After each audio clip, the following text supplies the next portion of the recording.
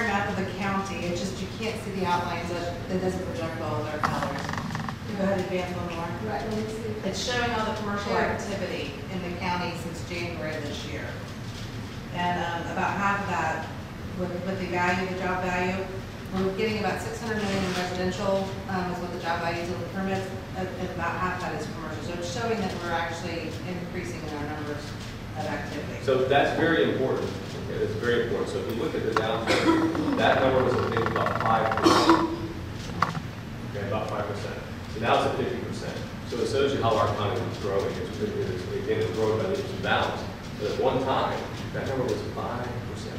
I mean, it was hard to believe. Right, and we lost too. So it was going, it was going backwards. So fifty percent, I mean, that's, that's huge. That's huge. I mean, it's, I don't know, uh, tell me, I don't know if the surrounding counties compare right now, it'd be difficult.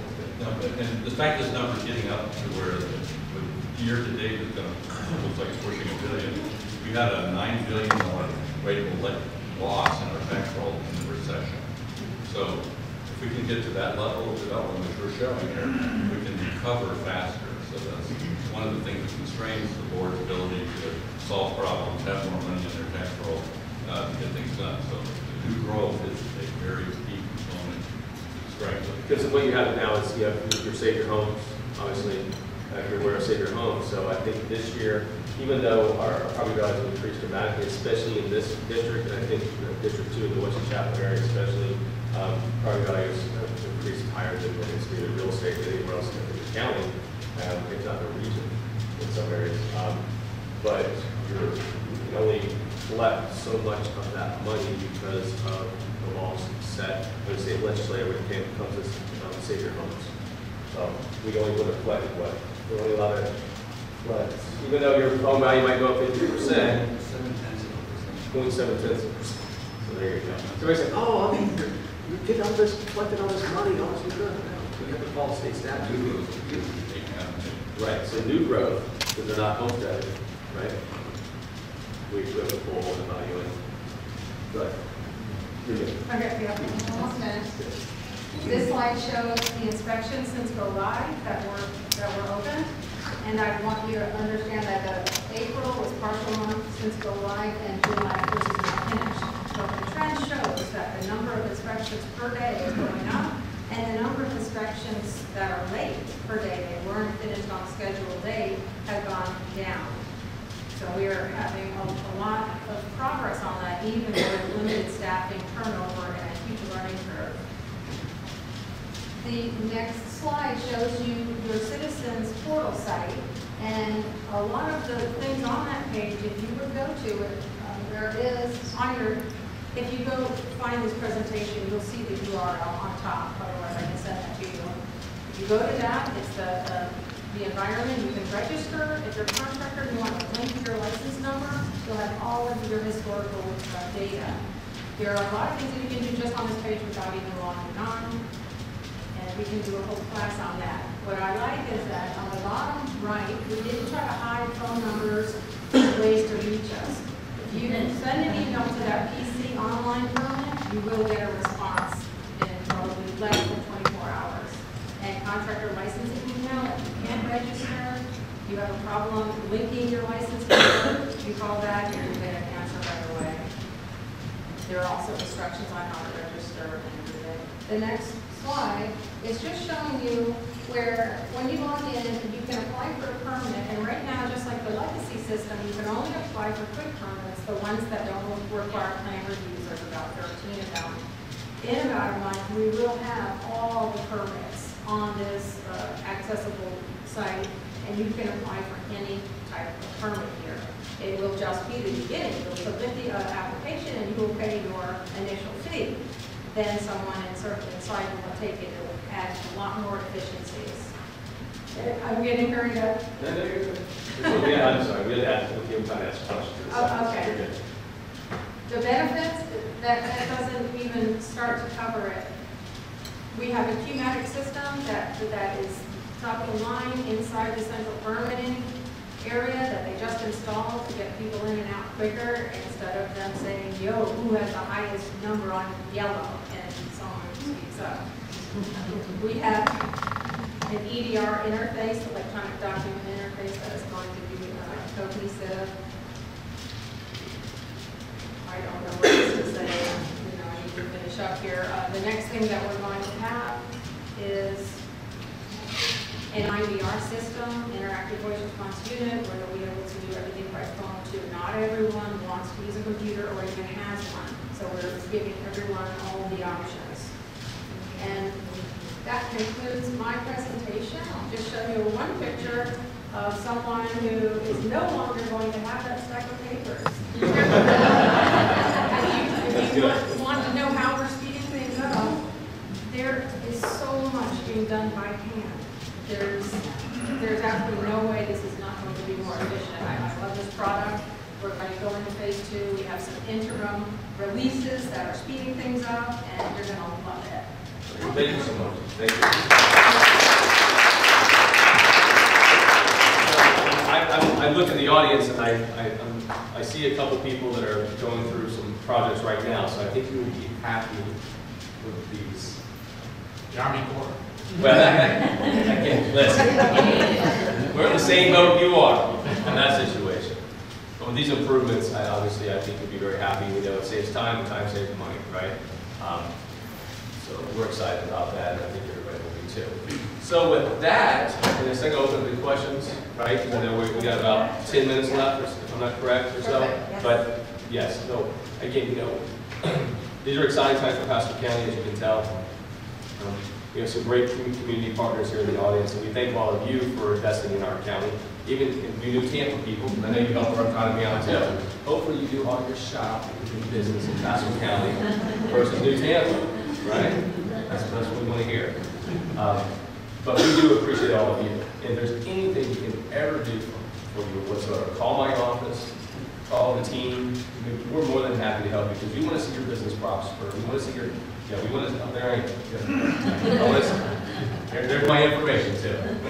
But we want to see your business grow. But we want to make it as easy as possible for you. Again, I won't, I can't reiterate enough. Some of you that are in the business of bringing, helping, you know, bring companies to the area, please let them know about all the great incentive packages we have and everything we're willing and and able to do um, to bring those employers here to Pasco County. So with that, I will open up to any questions, not yet. Majority of questions you may have. So I know, okay, yes ma'am. Uh, What types of businesses are you focusing on, like categories? You can go To back. bring into the area, like technology? Right. Obviously, you, you know, there's a lot of retail here, healthcare, I mean, what are you really focused? So our target industry, we are actually, we follow the Florida state Florida list, which do not include retail and do not include healthcare with the exception of research and development type of activities it's more scientific based. Um, The primary targeted industries that we do go after sell their goods or services about fifty-one percent or more outside of the area, which could be the county or the region. Manufacturing, um, logistics. Um, If you think of a traditional part-time, low-wage retail, restaurant, those come with the rooftops. So that's not something that we have to actively participate unless you're in a redevelopment area like a downtown where you want to diversify and actually bring people in. So we want to focus on those larger employers that are going to hire full-time, pay benefits, and pay forty to fifty thousand dollars a year for their employees. That's, that's our general. So we're excited about all the retail establishments, and the malls and the the restaurants that are here. You know, we do what we are, obviously, but at the same time, we're going to bring those uh, larger employers here, to those high-wage jobs, so they can go shop in these establishments, right? Which way is what. You know, and then they can use the hospitals, use the healthcare facilities. okay? So we need those. Brett, Lee, you had a question. Uh, I got two, and you probably just lead in the direction of. Okay, I'll let you answer one if we have time to get back to them. About who I should, who I should call about the. Hey, go ahead, hold on one second. About who I should call to talk to about uh, bringing in new uh, developments and new help with the infrastructure or the development of the site. And is That that right here? Only, I will ask one question, is that only for like non-county residents coming to the county? or- No. Target industries. So I, So, Yeah, you have my number. yeah. Yeah, but no, seriously, I mean, reach out to them. Please. Yes, I will. Yes, sir. Uh, Just curious, what kind of pushback do you get when you try to go out of the state or out of the region and- and get a large employer when they figure out what our transportation issues are? We're not as bad as some other areas. Never driven north on seventy-five around five o'clock? Oh, yes, I have. Have you ever driven in Atlanta at five o'clock? Yeah. At least you moved. Yeah. At least, at Uh, least there's an outlet. Hey, you know what? I'll- I've driven in Atlanta a lot. over Wesley Chapel any day. Thanks, uh, Transportation. But no, this is, but Tom's gonna do that seriously, for you. Yeah. So, I can answer your question because I'm the one talking to those companies. Uh, I asked a consultant that exact question, uh, at a- site consultants guild, and you'll be surprised by the response. None of the consultants were from the, the state of Florida, they were from Atlanta. They all agreed, because they were here- on a two and a half day visit, they were, they were uh, hosted by Hillsborough. It was a Hillsborough County event, uh, and they, they invited all the region to come to the, to the uh, presentation, so we were really gracious about that, because we learned a lot. I asked that question from the consultants. You'd be surprised to hear what they said, is that from outside looking in, they're very impressed with the fact that we're having this open dialogue. A lot of cities don't deal with it.